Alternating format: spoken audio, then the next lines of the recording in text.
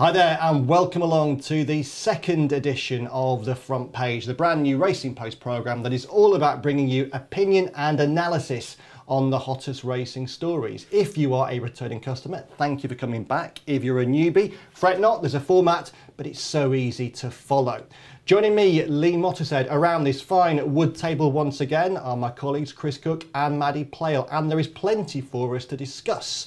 For a start, it's Royal Ascot week, and gracing Royal Ascot this week are two of the three highest rated racehorses anywhere in the world. One of them is trained in Australia, and that could be reflective of this particular Royal Ascot. It could be a great week for the internationals. Will they be the story of the week? And also, how long, given British prize money, can we expect them to keep coming back?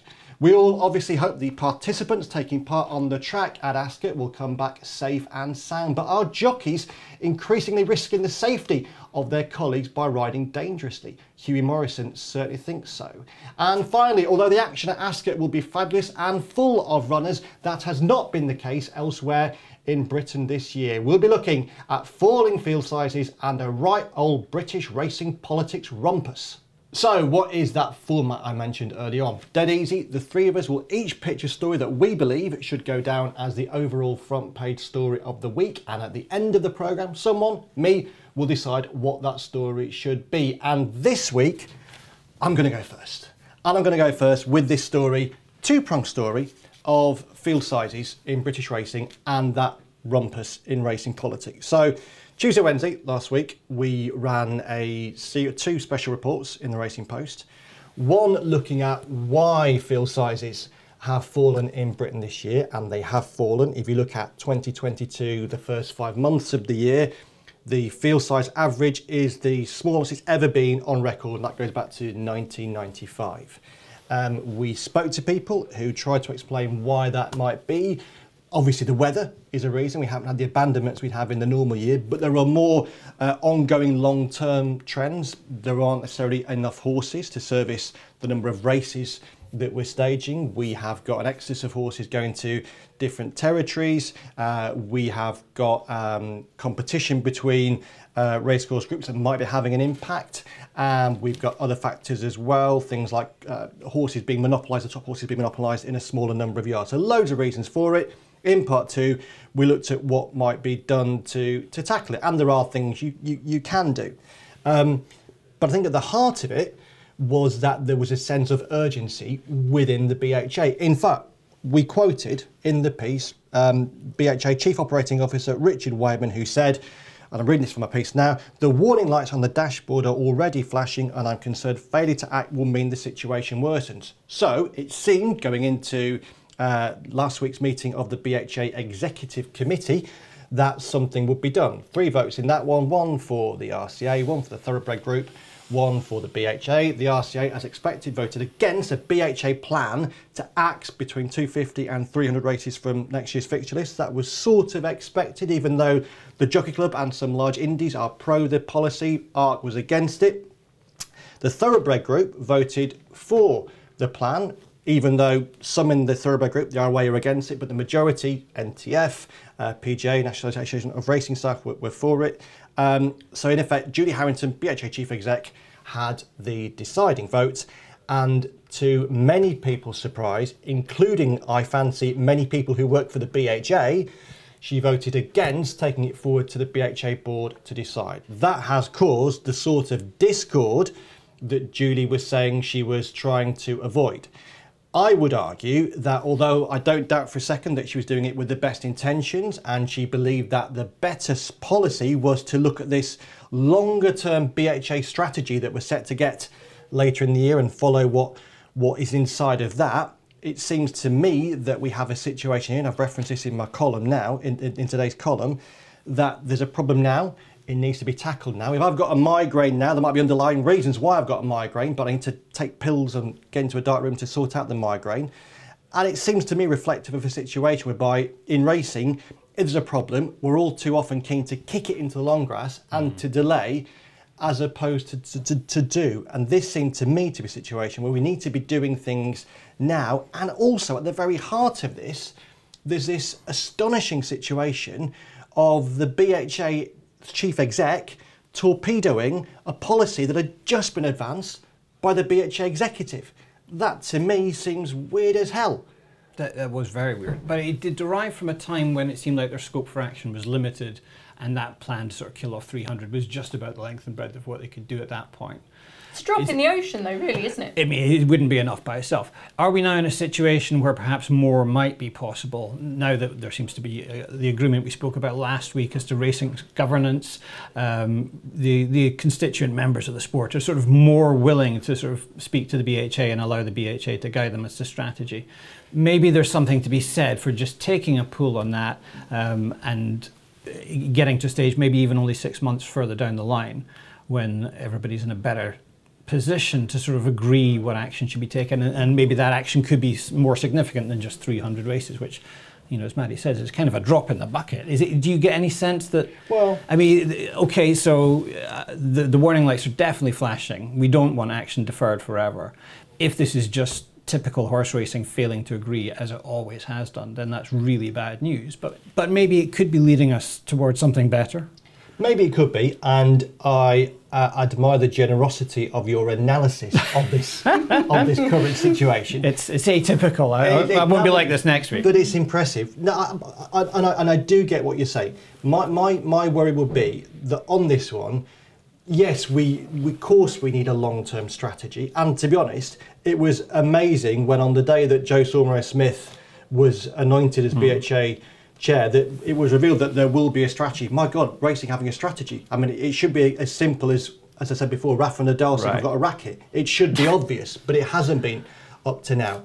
But within that, that strategy announcement, it was revealed, as you, as you say, that the BHA would lead Mm. would lead in terms of strategy. And yet, on the same day, as I say in the column, Joe Saumarez Smith was quoted speaking to Nick Luck saying that probably should be down to the race courses and the participants to, to, to yeah. determine how they want the sport to look in 10 years. Staggering though, isn't it? Well, it is, and that makes me worry that if we are in a situation whereby the BHA has been empowered, hopefully, to lead on this, that there might be a reluctance by the BHA to lead, and they might actually want to look at what the, the race courses and the participants think. And on too many issues, the racecourses and the participants either won't agree or they will be minded by what is in their own best interests. Mm. And you can see why, because for them, this is an industry, but for most people, it's a sport. And I'm adamant that if you don't govern it as a sport first and foremost, then the sport as an industry. Right.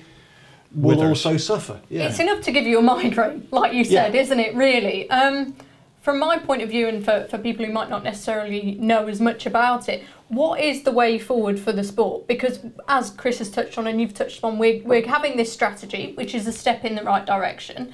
But how much trust are you putting in the BHA to deliver this strategy with the collaboration of all the different stakeholders? How is this now going to translate for the next six, 12 months? What are we expecting to see? Well, I suppose we're expecting, on this issue in particular, six months down the line, there to have been some announcement that says we've looked at all the data that's available to us and we believe this is the right course of action to tackle this field size crisis. But against that, I know that the, the, the BHA's racing team that, that organises race programmes and fixture planning already uses tons of data.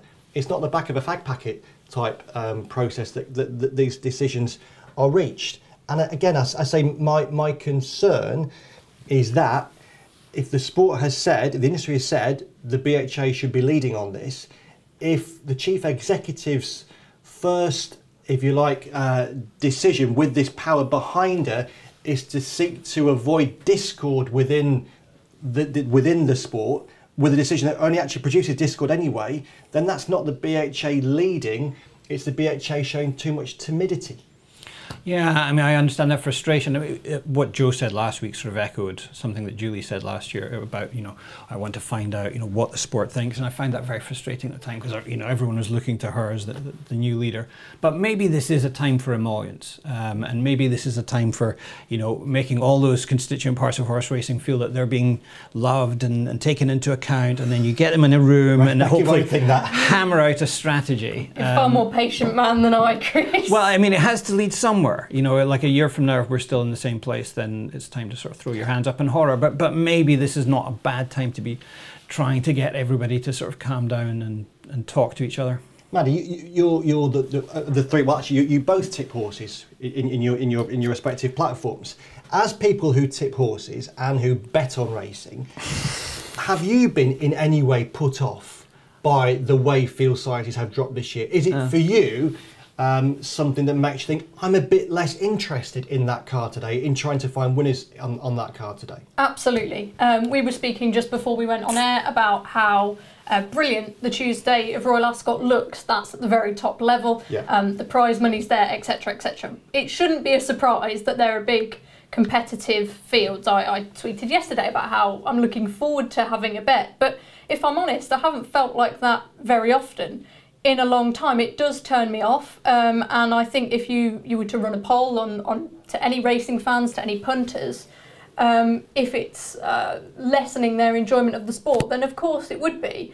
For me, the thing I find interesting is when we're analysing which races we need to get rid of, how that data comes about. You know, whether it's looking at the income generated from the levy or um, a million different reasons about why races should or shouldn't be scrapped. It doesn't seem to me like it's necessarily straightforward. Um, and I'd like to see a bit more of that data. I'd like that to be widely available and I'd like to gain a, a greater understanding of it. But I think anyone who is a fan of racing can understand that we're going in the wrong direction here and we need to be proactive um, in addressing this problem. And we haven't seen that so far. I, that hasn't quite been my experience. You know, I still find races tremendously fascinating, and yeah, I suppose in theory your chances of picking a winner or tipping a winner are improved if the field sizes are Oh, smaller. come on, Chris. I, I, I don't know if that actually works out in practice, but um, I, I recognise that I'm not typical. I mean, there, you know, lots of bad things could happen to the sport, and I would still be gripped by it. But that's not true for everybody. It's a real. That doesn't pro- it's mean a we real shouldn't problem. try and address no, it. no, no. though. We should definitely try and address it. But one thing that slightly frustrates me is that the answer always seems to be to cut back on the number of races. You know, so we've got reducing field sizes. Let's cut the number of races. Why can't the answer be more horses? I mean, we've never. It seems to me that there's never been a sort of concerted effort from the centre to make sure we've got an adequate supply of the raw material But on then which you the need sport the depends. owners to own those horses, and they just aren't around in this current climate. Well, Even more are they? importantly, surely you need the people to look after the horses. And we have a massive staffing crisis Yeah. at the moment, in particular in, in those Yeah. big training centres. Why should we be bringing more horses into an industry where we can't look after them and already? we need to focus on aftercare as well, and what happens to horses when Yes. their careers end. So that just puts just- more fuel on the fire of that, that argument as well. I worry that you know when you start cutting back on races and you start cutting back on the sport sort of presence in the marketplace, to use business speak, um, you, you're risking trapping yourself in a sort of cycle of dwindling income, which isn't going to do anybody any good. You know that's going to lead to fewer trainers, fewer businesses, fewer staff. Um, you know, it, it might be a, quite a vicious cycle that we get locked into once we start cutting back on the number of races, particularly if we lose races that were actually levy positive, as it were. You know. I get that, and maybe just to, we finish off this this section by me getting on a sermon again and just saying I, that that point there about cutting back on races that, that are levy generative. Surely all races, all races that take place, generate levy. There aren't really races that that aren't profitable, and I have real um, real trouble with the argument that's been put forward by some uh, sectors that say, what's the point of getting rid of races that actually make money for the sport? I would say that is an argument that only looks in the short term. And in the hmm. long term, if you're staging a program that is actually putting people off the sport because they think this is not as interesting as it used to be, then you might be making money today with those races, but you are potentially cutting off your income and your livelihood and you know participation in the sport in the future. So I think long term is definitely better than short term on this one. Right, that is my soapbox moment now completed. It is time, Chris Cook, sir, for the floor to be yours. What's your story? Well, my story is about safety, Lee. Safety first, people always say. Nothing more important in racing in a dangerous sport than the safety of our participants, equine and human. Um, I sat in on a very interesting appeal hearing last week um, at which Hughie Morrison and Ed Walker, a couple of very respected flat trainers, um, put forward the argument that a rival jockey um, had ridden dangerously uh, in the act of beating them in the Bronte Cup at York last month. Um, significance of that, of course, is if a jockey yeah. is found to have ridden dangerously, automatic disqualification. There's no debate, there's no choice. If he's ridden dangerously, the horse gets disqualified. Yeah. So in this instance, it was a horse called Believe in Love that won, um, but in doing so, he interfered with, um, as I say, Hughie's horse and Ed Walker's horse. I think Hughie's was second, Ed Walker's horse third. Um, he's gone halfway across the Knavesmire um, in the closing stages uh, on Believe in Love, um, carrying Ed Walker's horse um, who passed right in front of the nose of Hugh Morrison's horse. Um, PJ McDonald, who was on Hugh's horse, sort of um, reacted really quickly, took his horse out of the situation. Horse also responded well, um, so nothing bad happened. Yeah. But it's sort of thanks to the sort of immediate quick thinking um, and jockey skills uh, of PJ McDonald that nothing bad happened. Anyway, so those two trainers were making the case. Um, you know, this is more than careless riding, which was found on the day. This is actually dangerous riding, um, and the steward should have said so. Um, in the end, that wasn't accepted. Um, the the appeals panel was happy to leave it uh, as careless riding, for which, in, in, fairness, you know, Ray Dawson served a significant sentence. He got an eight-day yeah. suspension. You know, who wants to miss a whole week's work? Sure. Um, but the point is, to me that's interesting is that trainers evidently do believe there is dangerous riding going on on our tracks. Um, and this isn't an isolated incident. John Berry pursued a similar appeal at the end of last year. Um, Harry Fry spoken to me twice in the last few months um, about instant instances which were fairly scary, involving you know his, two of his horses were victims, uh, where he believes that they were victims of actual dangerous riding that should have been found on the day by the stewards. But in fact, there has been no finding of danger since 2009 um, when Tony Culhane was found in breach of that rule.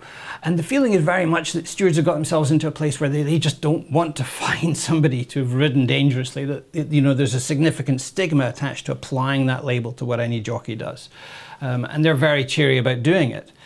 Um, if a person goes missing for seven years, you can get them declared legally dead. This rule has gone missing for 13 years. It just hasn't been applied.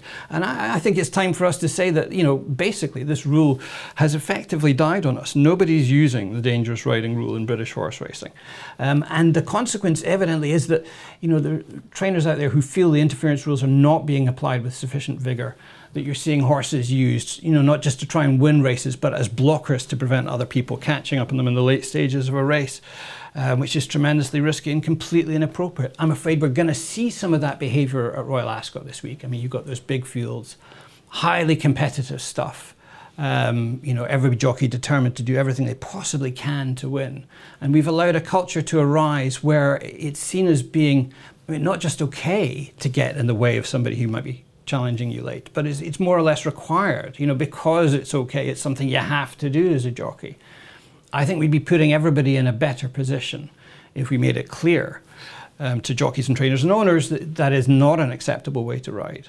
Um, and you know they, they absolutely mustn't do it. I think most jockeys would actually be grateful if that were spelled out because they would mm. be safer mm. and they wouldn't be getting pressure from their connections to, to ride in that particularly aggressive manner. So you sat through um, that hearing, that BHA hearing, having watched that video, I imagine zillions of times sure. from lots of different angles, and having heard what was said in the room. Did you come to a conclusion that that was dangerous riding? Um, that was a it was a difficult case to argue because you know there was there was some evidence that the horse was was wayward um, and Ray Dawson was sort of doing his best to control it not hadn't been wayward before. In fairness, it should be said the horse had never hung before. Mm. Um, it's it's so very difficult to prove, uh, isn't it? You know, if if the, do- jockey's doing something active which Ray denied and it was not proved, um, or if in fact he's he's trying desperately hard to get control of a wayward horse. I think in those circumstances, since you'll never be able to prove what the intent was, you just have to punish it on the basis yeah. of the effect that it's had. Uh, again, another interesting thing about the dangerous riding rule is that it basically demands, you know, a really bad outcome. I, I have part of the definition here. It says, mm. um, for dangerous riding, the rider must cause serious interference, which is when interference causes a horse and a rider to fall or very nearly fall, or the horse is severely hampered, e.g., up against the running rail, or is pushed or nearly pushed off the course you know, there's got to be scope for saying, well, that's dangerous riding, even though there wasn't a bad outcome. Um, and if you sort of decline to sort of to act um, when you know because things have worked out okay, then I think you're sort of leaving jockeys in a space where they're taking chances that we, that we, we don't want them to take. Absolutely, and it begs the question: what has to happen for Wow. this rule or its em- implementation um, to to come into effect? I asked you earlier: is it a case of changing the word "dangerous"? You said stewards are, are not likely uh, to. You know, be incentivized to use that word because No, I, it th- I think you're conveys- scared it of it. conveys a very strong sort of um, intent. Yeah. If we change that word to unacceptable, do you think is it is it that simple? Uh, It, it could be, yeah. I mean, I think I would favour just abandoning labels altogether, and you just have a range of penalties. You know, um, once you you've breached the rules and interference, um, it's just a case of deciding how bad it was, um, and then the stewards can take into account. You know how bad they thought your writing was, and how bad they thought the effect on other people was. But but the the effect on other people wouldn't have to be the whole determining factor. Um, and once you empower stewards to sort of do that, I think you, you do make their lives easier. You, you make it easier for them to uh, punish appropriately. How serious do you think the problem is now? Again, do you Well- do you when you watch you watch tons of racing? Do you sense that that jockeys are too often doing things that jockeys just shouldn't do? Yeah, I do. I mean, this is something I've been hammering on about for a couple Yeah. of years, and I'm by no means the only one in the racing media. No. There's, there's a few of us. Um, and, and once you sort of start looking for it, you see more and more cases, Yeah. don't you? Um, I, I, I really particularly don't like that thing where you're in front, but your horse is getting tired, so you steer in front of where you think your challenger is coming from. Yeah. Um, and you know, lots of jockeys deny that they ever do that, and yet you know, Yeah. um, somehow their horse happens to hang that way. Um, go figure. I, I think it, it, that's a culture that we've really got to sort of do something about. Um, if you, and of course, there's the Freddy Tylicki case. The poor guy, you know, he, he was Sure. Paralysed by the, the dreadful incident at Kempton, which on the day the stewards found, you know, that Graham Gibbons had done nothing wrong. They, they didn't find him in breach of any rule. Um, but then when it gets to court, you know, he's found liable for causing that accident. Um, I, you know, I think there is a sense that the stewards historically uh, have fought shy of pointing the finger when there's a really bad outcome.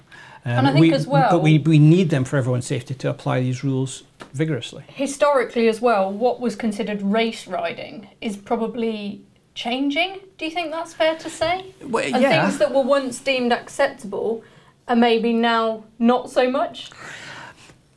That's definitely true because uh, yeah, I'm sure I can remember instances in the 80s of people sort of very aggressively, more or less, trying to put people through the wing. Have our Um, rules not changed enough to compensate for those changes? But I, I think there's also uh, there's a higher level of skill, isn't there, generally among jockeys? You know, and you could say that they're um, they're able to sort of to do things um, with their horses, move them about, um, without making it clear that that's what they're doing. Um, and and and that brings with it a sort of higher level of aggression. It seems to me. Um, it- whatever the case, you know, there's, there's something to worry about there. I, I would like all of our horses to keep straight in the closing stage, as hard as that may be, um, and for that to happen, you know, you, you- we've really got to sort of get the industry's attention, make it clear that this is not acceptable anymore. And I tell you another thing, uh, it's occurred to me. I, I'm not really in favour of just punishing jockeys more and more. I mean, we always throw that out as the solution, and I don't think it gets us any place good. If you extend the interference penalties to include trainers and owners, then you'll find those employers of jockeys telling jockeys, for God's sake, you mustn't breach the interference rules, which I'm not necessarily sure in every case they're doing at the moment. No, I can see that. Um, maybe just just just add one little thing here. I did a column two years ago on this subject because, like like you, it really interests me. Um, and I spoke to Marcus Whedon, who had been a BHA stipe uh, for five years and then had gone and worked in different jurisdictions. He made two main points. One was that because, as you say, there hasn't been anything since 2009, there is no precedent. So stewards can't easily say, well, Right. five years ago, this this jockey did this, that was dangerous, and therefore this can be judged against that. Because there's no precedent, it makes it difficult. And the second thing was that Marcus made the point that uh, in different jurisdictions, they tend to have a, a higher entry point for riding offences. And linked to that, he said, and I'm going to quote him directly here Jockeys in other countries will come to the stewards and say, He has done that to me, what are you going to do about it? They approve of the hard line. The main concern is the hard line is applied equally. In Britain, it's much more likely that in the stewards' room, jockeys will do each other a favour and talk down the significance of any interference. We That- saw that at Aintree, didn't we, with with uh, Pied Piper we and Knight did, Salute. and it brings to mind Pat Cosgrave's evidence during the the Gibbons Tylicki Sure. trial about saying jockeys don't really want to cause trouble. We know that jockeys want the race courses to be safer places, but if Marcus Whedon is right as well, that maybe needs to be extended into the stewards room. We're all in agreement here, I think, aren't we, that we need to see some sort of change. Uh, I definitely think so. But I mean, the, uh, another issue, of course, is that the BHA has got a massive bulging in tray. And, and so, you know, this is just, I'm not even sure it's anywhere on their list of priorities at the moment. Um, post the sort of Tylicki case, it really ought to have been something that was that was picked up. But you know, they have their the governance and strategy issues to worry about. Gambling review. There's a whip review in progress. There's a lot going on. Um, so I sense that this is one issue that is just for pure pragmatism, it's going to be kicked down the road. But we're going to see more and more examples that make you think action's required here. Two stories down, one to go, and our final candidate to be the front page of the week looks ahead towards the greatest flat racing week of the week, does it not, Maddy Playle? It does, and you're going to have to indulge me, I'm afraid. Go on. and my slightly nerdy love um, for international racing. This week's going to be a great showcase of it. We've got one of the, the best horses in the world, Nature Strip, turning up. I Yeah. spoke to James McDonald uh, in the week, who was fantastically enthusiastic and passionate about coming over. And it links to your story, I guess, Lee, in that although we're having trouble with prize money, small field sizes, a whole catalogue of issues in British racing, isn't it great that we're still getting these horses, the calibre of horses and jockeys? James McDonald is officially the the best rider in the world according to the TRC rankings, um, and Nature Strip third best. Um, but for how long? So I'm being positive, but there's a cautionary tale here as well. Um, before we came in, I did a run through all the cards for Royal Ascot. Um, all days and three of the races on the Racing Post website um, for Saturday, and there are 29 international raiders. We've got 10 from America, 12 from France, 3 from Australia, 1 from the Czech Republic, who uh, Chris is speaking to his jockey very soon. Yeah. So I'm going to be interested to hear about Pontos in the King's Stand, 2 from Japan, and 1 from Germany. So I'm hoping as many of those stand their ground as possible. Um, and essentially, I, I just think it's fantastic um, embellishment of our sport that we have such great diversity and all these different horses with all their different stories that we can tell uh, coming together for this one week. Um, I don't think a Royal Ascot has been illuminated in the same way uh, for some time. Nature Strip in particular. Um, let me just remind myself what James Donald uh, said to me. He said, Nature Strip is the best sprinter I've ridden and one of the best sprinters Australia has ever seen. He's a nine time Group 1 winner. He's won every big race here in Australia from Lightnings to TJs, three of them to Everest. He's done the whole lot. He's a seven year old rising eight in career best form. He seems to be getting better. Um, and yes, very, very strong. So if you're not aware of, of these international campaigners, in the same article, he went to talk about Home Affairs, who's going to run in the Platinum Jubilee for the Coolmore partners. I you spoke to Chris Waller um, brilliantly um, in Sunday's Big Read, and I think that enthusiasm and the Aussies, are, it's a, it's a sort of train of thought that we like to, to have a dig at each other, don't we? We had it when Black Caviar came over, we had it famously when Winks came over with this sort of jibing and, and competition, and I just think it really adds something. But I do think the Aussies in particular do a great job at selling their sport, um, at really portraying that enthusiasm. Maybe it's because they're they're not so afraid to upset each other. I'm, I'm not so sure. But essentially, um, my front page is the best jockey in the world, the third best horse in the world, so much diversity, and I think it's absolutely fantastic. I can't wait. Will we see it in the future if British racing continues to go down the same path? It's a good question, and to an extent, it was touched on by um, Chris Waller when when I interviewed him uh, at Ascot on Friday. And thank you for the kind words. Um, with with Nature Strip, because on the, on the one hand, he made the point that it's not necessarily an easy sell if you're a trainer speaking to owners over there about bringing your horse to Royal Ascot. Obviously, it's a marathon journey. Um, it takes a big chunk of time out of that horse's year. It's not just a case of you Yeah. come across for a week, it's the time in preparing the horse, the time, the recovery time. He made the point that for a horse like Nature Strip, there would be three or four races in a calendar year that would be at least as valuable as the, the Platinum Jubilee. Hey, look at the, the, the money that's on offer in the, the Everest, which will be his target when he goes back to Australia in October. And that's 15 million Aussie dollars or something, something like that. Just an outrageous sum of money. So it is a, a big ask and it's a big financial gamble as well. But against that, the enthusiasm that they are expressing for this challenge, the almost reverence with which Chris Waller was talking about Royal Ascot, this feeling that they, they've landed on on the home of racing, the greatest race meeting in the world, and they were honoured to be taking part in it. And if you look at the two horses he's bringing, on the one hand, you've got Home Affairs, who's owned by Coolmore, the um, the, the the biggest sort of commercial superpower in, in global flat racing. They see the attraction of Royal Ascot for an Aussie horse because of what it can do to his potential stud value. Nature Strip is a gelding with no residual value. Well, he has got residual value because they could sort of now make a fortune, but he's not got the same residual value as Home Affairs. He's also syndicate owned. And Chris was making the point again, and this applies to Artorius as well, the other Aussie horse in the Platinum Jubilee, that um, they're just they're just thrilled to be on the ride. That this gives them the trip of a lifetime with a horse that good. So I'm sort of contradicted in my mind. In uh, for, for, I'm not contradicted in thinking this is a great thing. Wonderful to have the internationals at Royal Ascot, and Nick Smith within Ascot has done an incredible job in recent years. Actually, over a long time now, in bring, yeah. making that meeting more valuable. That's a lot. A lot of it is down to him. He's done a wonderful job. But on the one hand, we celebrate the fact that there is such reverence for Alaska and that they're coming from Japan, from America, and from Australia.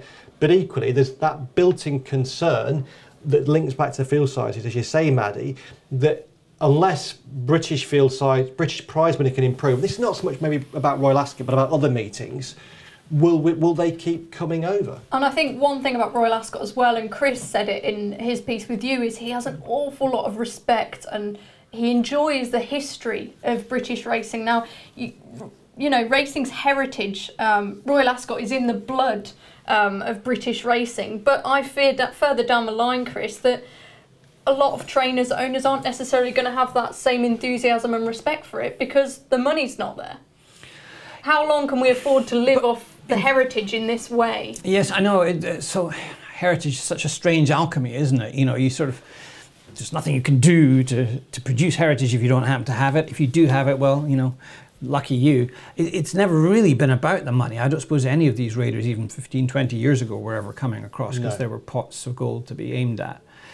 A lot of money on, on offer, in fairness to Royal Ascot this week. I mean, I, uh, did I see a figure 35 million? Yeah, they've quid? done a great job. It's, yeah. it's up about 18% on 2019 levels, which, considering everything we've been through in the last three years, that's amazing by itself, and, and they deserve credit for that it still wouldn't compare with the sort of pots that these top Aussie horses or US horses would be able to compete for on their home soil. Um, so we've got to be grateful that we've got this fantastic show that, that draws them. And I think part of that is that it's it's like another peak to scale. If you've got a horse that's done everything at home, you know, mm. he's won all the, the big races for his division.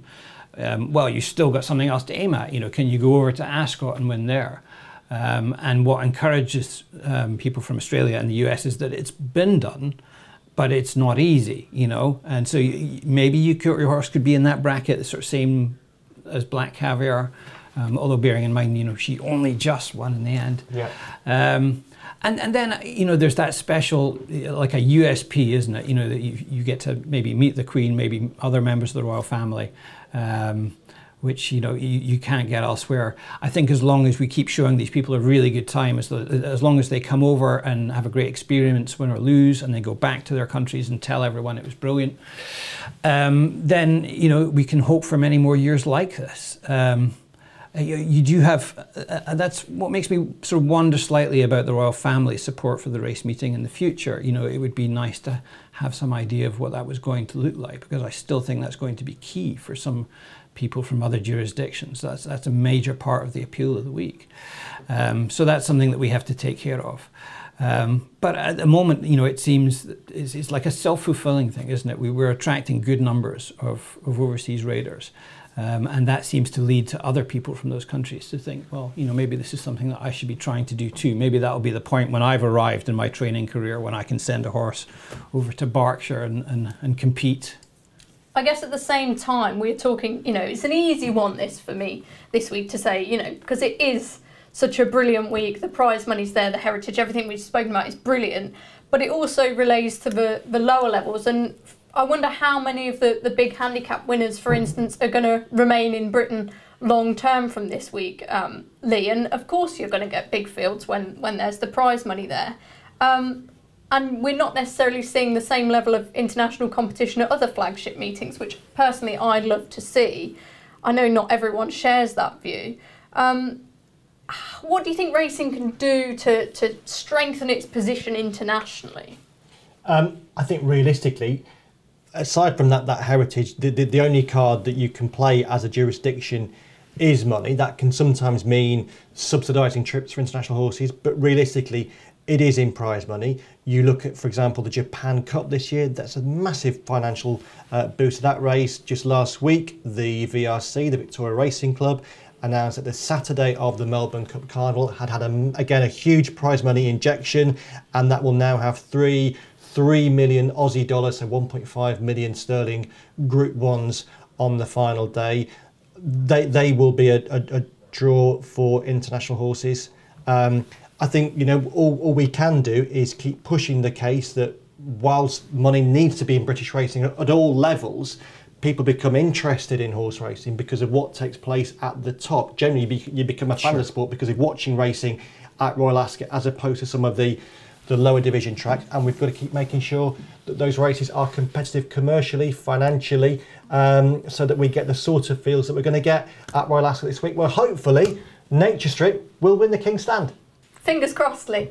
Fingers crossed indeed, Maddy. And there will be 35 winners at Royal Ascot. There will also be a winner in this room any second. It is my job as, as uh, today's leader of this fine ship to determine which story is the overall front page story of the week. You might remember that last week I voted my own story as the, the winner. I can't do that two weeks in a row because people start calling me names. Uh, Chris Cook, I've been complimenting him uh, before we came on air about his amazing shirt. So I think if I gave him the ah. prize, it would look like I was just doing it based on, on the shirt as well as his great story. I think that's so, valid. Thank you. So on this occasion, Maddy, uh, I think a positive story as well. Uh, Royal Ascot could be amazing this week, particularly say thanks to those internationals. So Maddy, you win week Woo! two on the front page. There you go. It, it, it matters that much. That then was the front page for this week. Thanks so much for tuning in. We shall be back next week looking at all those hot racing stories. Until then, goodbye.